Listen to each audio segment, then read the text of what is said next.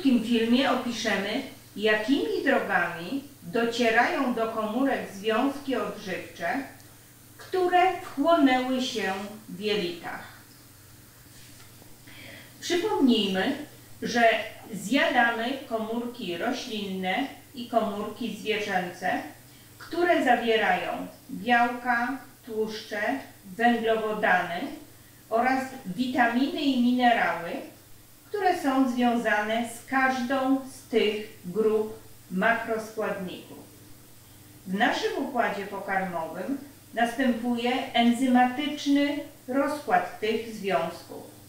I tak, białka rozkładają się do aminokwasów, węglowodany, czyli cukry, do cukrów prostych, glukozy, fruktozy, galaktozy i mannozy oraz tłuszcze rozkładają się do kwasów tłuszczowych, trójglicerydów, fosfolipidów i cholesterolu.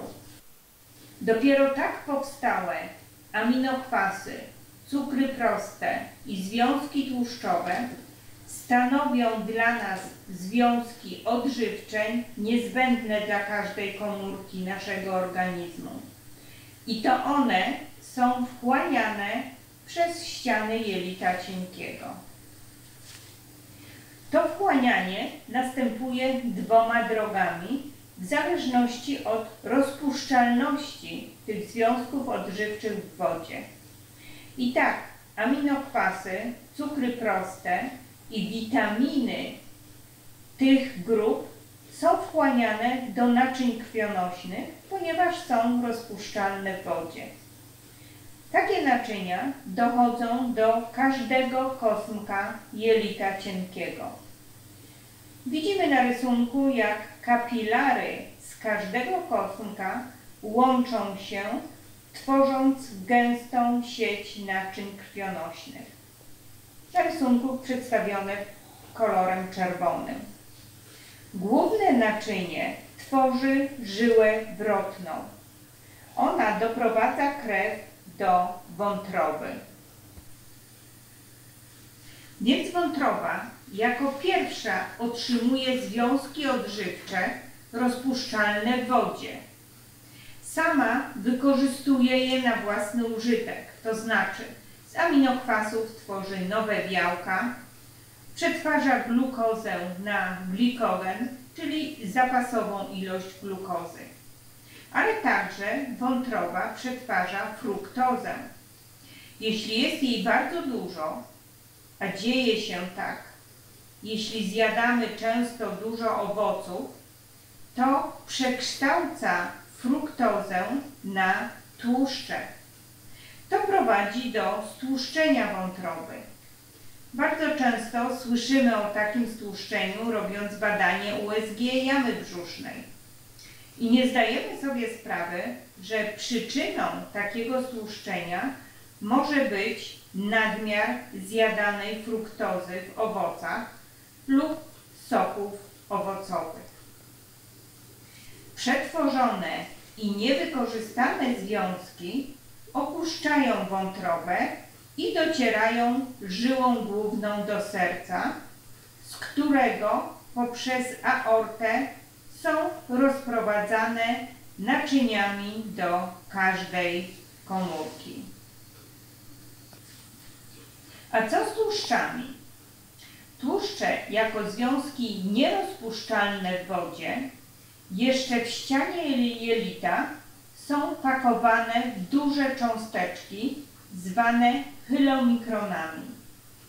Zawierają one wszystkie rodzaje tłuszczów, które dostarczyliśmy z jedzeniem, czyli kwasy tłuszczowe, trójglicerydy, fosfolipidy czy cholesterol. Tak powstałe duże cząsteczki nie są rozpuszczalne w wodzie, więc są wchłaniane do naczyń limfatycznych, które także docierają do każdego kosmka jelitowego. Na rysunku widzimy sieć naczyń limfatycznych, kolor zielony, które transportują duże cząsteczki tłuszczowe, hylomikrony.